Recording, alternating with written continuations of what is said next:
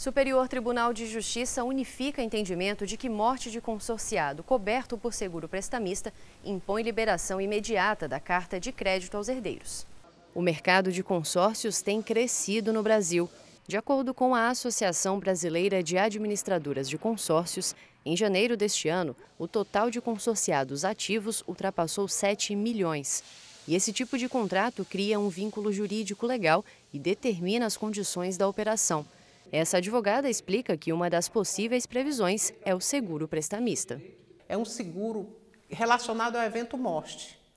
Então, o contratante ele adquire este seguro para o caso de falecimento ele ter quitado o financiamento é, é, ou o consórcio, porque o, o seguro ele serve exatamente para quitar este parcelamento. Ao participar de um consórcio de imóvel, Leonardo decidiu contratar esse seguro. Para ele, é uma forma de garantir a tranquilidade da família. No momento que houve a contemplação né, do meu consórcio, é, eu fiz a contratação desse seguro prestamista visando garantir né, o pagamento das parcelas né, vindouras que, eu, que eu deveria, para, numa eventualidade, alguma, né, algum infortúnio, houvesse a quitação né, do meu consórcio imobiliário. A gente não quer que aconteça a coisa ruim, né, a adversidade, mas quando ela vem, a, vantagem é quando você tem um seguro, você tem uma maneira de se, se garantir. Um caso envolvendo o seguro prestamista chegou ao STJ. Uma viúva ajuizou a ação contra a administradora do consórcio firmado pelo falecido marido.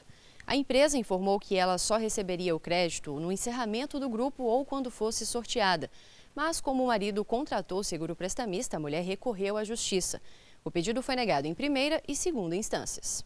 A relatora do recurso na terceira turma do STJ, ministra Nancy Andrighi, destacou que a Lei 11.795 de 2008, conhecida como Lei do Consórcio, não tem previsão específica para a situação do falecimento do consorciado que contratou o seguro prestamista, mas que não há lógica em se exigir que o beneficiário aguarde para a contemplação, sendo que o saldo devedor foi quitado antecipadamente por meio do seguro.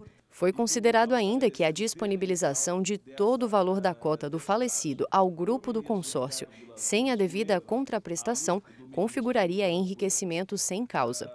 O recurso da mulher foi acatado na terceira turma por unanimidade.